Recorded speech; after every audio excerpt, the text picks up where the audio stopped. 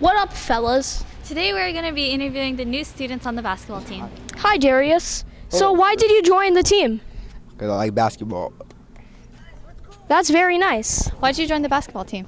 Because I love sports and basketball is my favorite sport. What do you like about basketball? Uh, being a team player and leading, and not really winning, but winning at the same time. All right, thank you. As you can see, I am standing here in front of the gymnasium where the basketball teams will play uh, will play most of their games this year. Isn't that radical? It was also really radical to get to know their opinions. Now, back to you.